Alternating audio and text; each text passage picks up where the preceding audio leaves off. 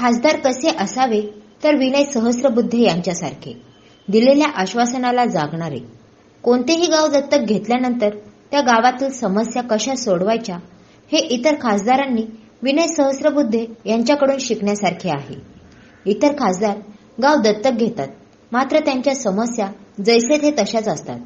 फक्त कागदोपत्री त्यांची पूर्तता केली जाते.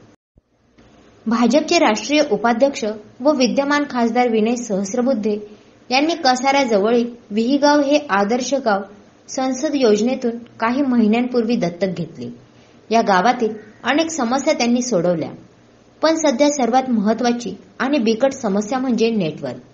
विहीगाव या ठिकाणी प्रसिद्ध असा अशोक धबधबा आहे. त्यामुळे परिसरातील तसेच दूरच्या ठिकाणावरून येथे पर्यटक येत असतात.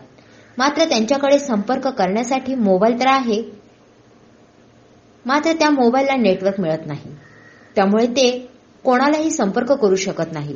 ही अत्यंत बिकट समस्या जाणून घेऊन त्या दिशेने त्यांनी प्रयत्न करण्यास सुरुवात केली.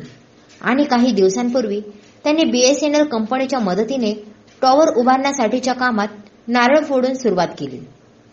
आणि आता या गुढीपाडव्याच्या मुहूर्तावर त्यांनी या टॉवरचे उद्घाटन करणार असल्याची माहिती त्यांचे निकटवर्गीय सहकारी रविशेठ पाटील यांनी दिली. स्वच्छतेचा प्रश्न असो वा आरोग्याचा प्रश्न किंवा विहिगाव वासियांची इतर समस्या असो. एवढे मोठे राजकीय नेते हे आदिवासी लोकांमध्ये येऊन रमतात आणि त्यांच्या समस्या सोडवतात. असे महाराष्ट्रातील बहुतेक आमदार खासदारांनी गाव दत्तक घेतले आहेत परंतु वर्षाच्या अखेरीस देखील हे आमदार खासदार त्या गावांकडे फिरकूनही पाहत नाहीत. जर विकासापासून वंचित राहिलेल्या गावांना दत्तक घेण्यासाठी विनय सहस्रबुद्धेसारखे खासदार मिळाले तर या महाराष्ट्राचा कायापालट व्हायला वेळ लागणार नाही. ब्युरो रिपोर्ट शहापूर माझा विहिगाव.